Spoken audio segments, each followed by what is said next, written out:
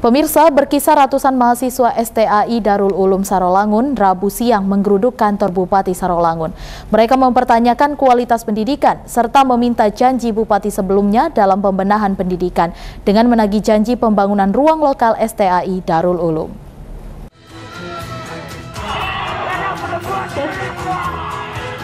Aksi demonstrasi mahasiswa STAI Darul Ulum dikawal ketat oleh TNI Polri dan Satpol PP sebagai pengamanan.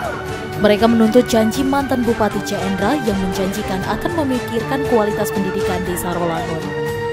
Korlap aksi dalam orasinya menuntut janji pembangunan kualitas pendidikan.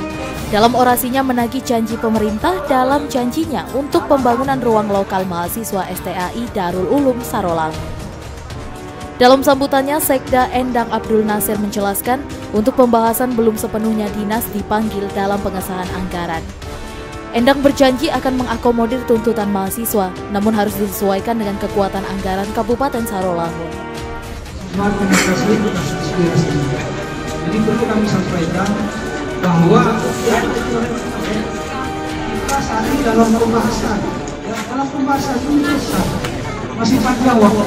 Jadi apa yang ada sama-sama itu sudah KPD sudah masuk, usulannya sudah ada. Memang Sedangkan PU sampai hari ini belum kita bahas.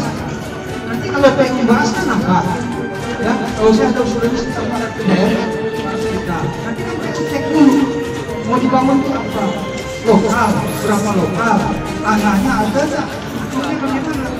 Itu dulu. Sedangkan PU sampai hari ini belum dibahas. Tidak puas, mereka kembali geruduk gedung DPRD Sarolangun dan meminta DPRD Sarolangun memperjuangkan anggaran hibah untuk pembangunan ruang lokal STAI Darul Ulum. Legislatif ingin memastikan barang ini ada nggak di dalam RKPD.